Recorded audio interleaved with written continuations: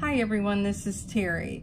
Today I'm going to show you how to create your own embroidery template. If you're a member of my Facebook group, Just Stitching with a Brother Luminaire, you know that our group has almost 800 members in four months.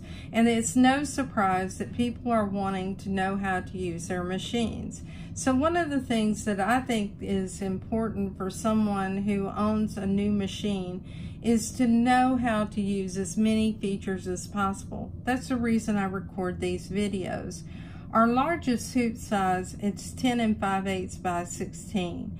But if you really put that in specific terms, it's 10.63 inches by 15.98. Now, no one would remember that. And then if you look at the metric, it's 272 by 408 millimeters. So what we have is a, an area that is what is called the sewable field. If you don't own the template for your machine, you may want to create one. So let's create one for the largest template. Now what I've done is I've just hooped some stabilizer. And this stabilizer is simply a tearaway stabilizer. You can use something more permanent if you want. But what we're going to do is we're going to take the, one of the largest designs that come with our machine, and this works it with a Luminaire or a Solaris.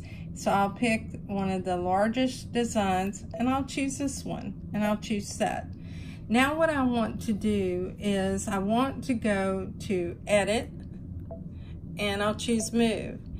Now, the first thing I want to do, it will come in centered, but I want to make sure I'm centered because I'm going to get that center point and I'll go to embroidery.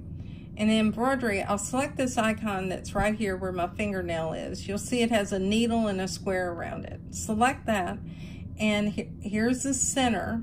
So select the center. Now what you want to do, make sure your needle's unthreaded, and you'll do needle up, needle down. Now, when you do the needle down, what you want to do is take a pencil or something else and mark around it. Now, I just do kind of a half circle because I'm going to use this as a way to connect the dots more or less. Just like this template has holes in it right here to, to mark as a marking aid. If I can find a quilting material large enough, I'll make little holes. If not, I can always take a hole punch or take some scissors and mark a hole so that I can use my template as well. All right, so now what we're going to do is we'll needle up. Now let's go back and make sure when you're doing this that you have enough space in front of you and that you're you have clearance behind. I have to turn my machine at a severe angle to film, but even so, I had to be careful because I backed into my other machine. You don't want to do that. Now choose return, go back to edit. So we'll go back to edit. And this time we want to go back to move. And while that design is in the center, you want to move to the very top. So I move to the very top to the most extreme place. I'll use my mouse so my hand's not in the way but you understand what I'm doing. You'll hear a clicking noise, and I've turned my sound down, so you probably didn't hear it with my voice, but just choose OK. Go back to embroidery, and now what you want to do is select the icon again, and we're going to select this point. Now you guessed it, we're going to needle up, needle down, and mark it. Now it's really important that you make sure that you are in the center for these center reference points because what happens is you move things around, your design, you may have marked the, the point for the left and you didn't move your design back to the center. So we'll go ahead and raise the needle up, come back, and we'll choose OK. Now we know we're in the center this time, so let's return. Now we go to move and we'll move all the way down to the bottom. You heard that click. All right, so choose OK, go to embroidery, and you guessed it, we're going back, and we'll choose this lowest point. This was about the time I hit my other machine. So make sure you don't do what I just did. And you'll take the needle up, needle down, and you'll mark that point. Okay, let's move back. We'll choose OK. I'll use my mouse from now on. And we'll return. We'll move. Let's move it to the center. Now let's go to the far left and we're going to mark this point that I'm, I'm selecting right now. So we'll go back to embroidery. And don't worry about it that your hoop is moving back to the middle. Your design is still sitting over here on the far extreme. And that's also a good visual aid because you can see this more or less plus sign. Now what I'm going to do is do the needle up, needle down. And I'll mark it.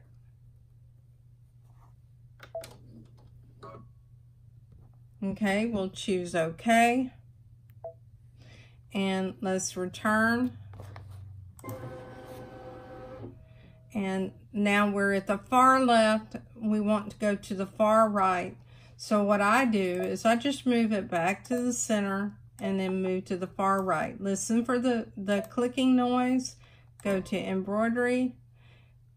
Go back and select the far right and needle up, needle down. And mark it. So you're going to go through all of these coordinates, marking the locations. You need to make sure, as I mentioned earlier, that what you're doing is you're taking your design when you return and moving your design back to the center or to the far extreme, to the far left, right, or to the far left or to the far right. And for instance, if I wanted to mark this corner down here where my mouse is, what I'm going to do is move it down and just make sure that it's at the far right hand corner and I would mark that.